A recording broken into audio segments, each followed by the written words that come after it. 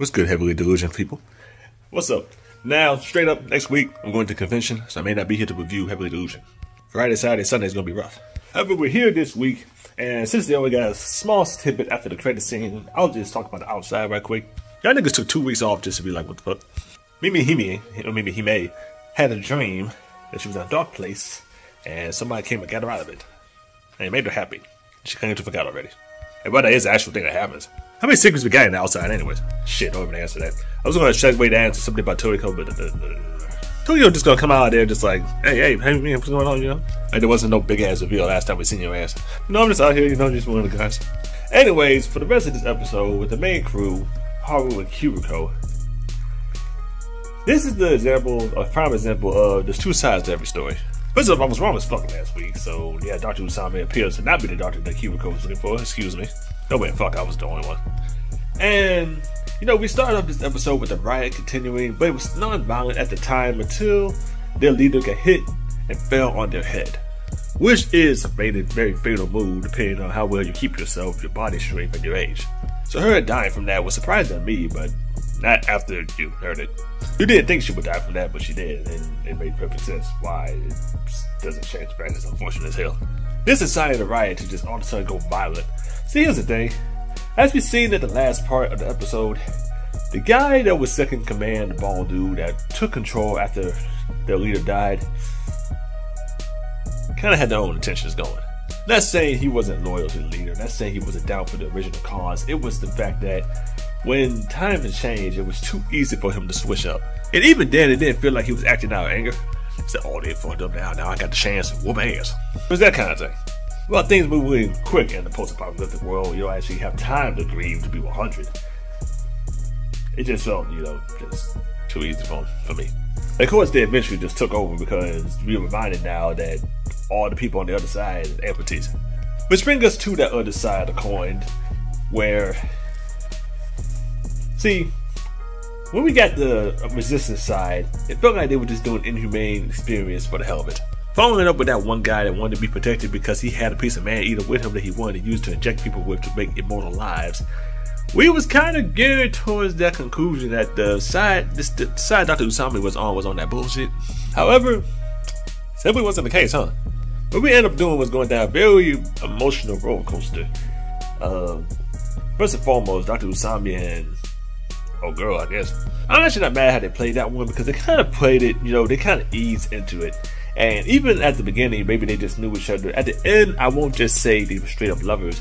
However, it was kind of not so necessarily dropping hints, but maybe it could have been kind of, you know what I'm saying? Maybe I just wasn't paying attention. I was cooking breakfast while watching this episode. However, you know, they started off as, hey, I knew this girl. Hey, she's my patient. Hey, you know, used to be roommates. And then right before she died, she texted she loved him. And obviously, he loved her. That kind of thing. Maybe it was, maybe it wasn't, but the feelings was definitely there. Mutual.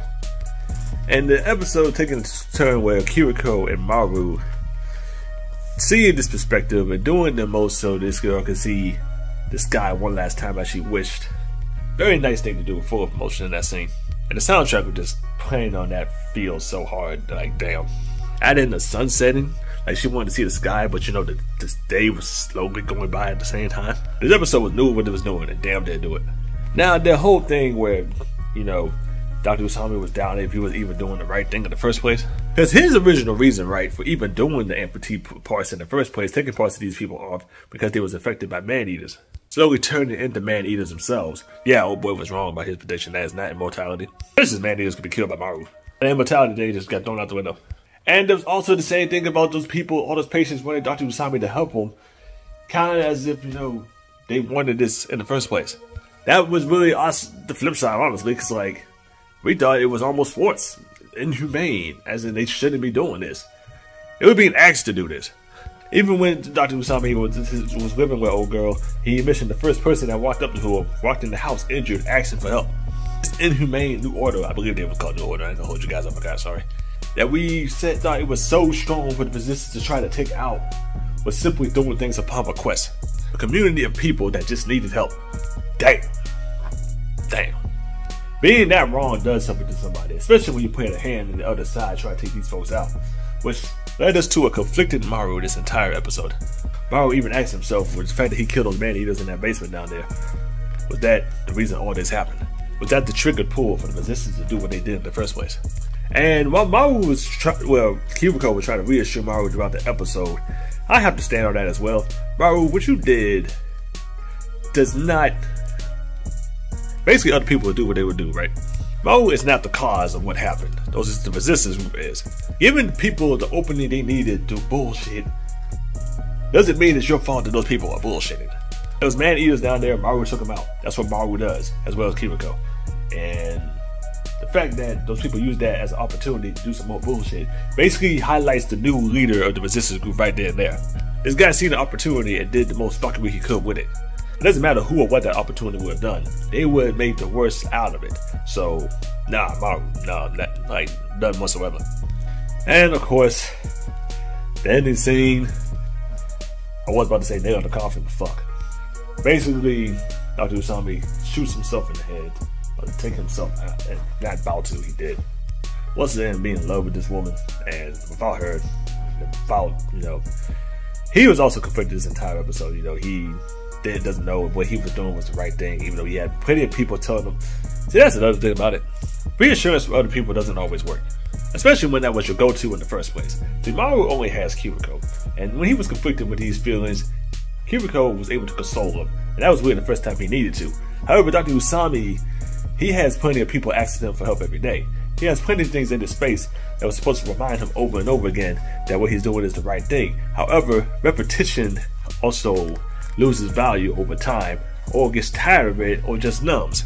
When his biggest reason for doing what he's doing is gone, and the one thing that reassures me that he's doing the right thing no longer works. Once again, the inevitable conclusion. And no, I don't want to say suicide is the inevitable conclusion, because no, that's simply not how it is. However, if it being a possibility. And hell, we've seen fucking Oshi no Ko this week. Anime sometimes take it there. that, that's, just where that's just where we're at. Upon seeing the scene, Maru once again just says his hands only destroy. And while those people are trying to save people, he only been killing man eaters, thinking that he could does not save lives. Once again, Cap. First of all, my nigga, you can save Kiriko plenty of times. And second of all, taking out these man eaters who kills everybody. You know what I'm saying? Kind of like episode two all over again, where this one woman believed that the man eater was her son, and the man eaters end up taking her out. Second, she turned her back. As far as the reason for these man eaters or where these man eaters are came from, I'm gonna let the outside tell that. Yeah, I'm blaming y'all. However, these things cannot be reasoned with, cannot be controlled, cannot be contained, cannot be. Yeah.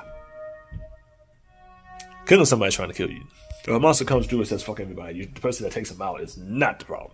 Now this is like episode 8, so I believe this conflict is going to rear its head again. I believe this show has 13 episodes, so we're not done with what we're doing right now. However, we do at least have a new lead. We know that Robin is still alive, and he's going by a new name, a doctor him damn self. What's with doctors in this show? Giving Kiriko another reason to keep moving. Maru still has to find heaven himself. So it's not like their story is derailed. This is a new side to Heavenly Delusion. Mostly everything that we typically see out of Heavenly Delusion, we didn't see in this episode, but at the same time, I mean, it simply wasn't a place for it. Almost like a straight up tone shift. And not only just for this episode, maybe going forward. Want to just blatantly say it's time for the outside to do something, but shit. Maru and Kiriko needs a break, huh? Tokio, your vacation's over.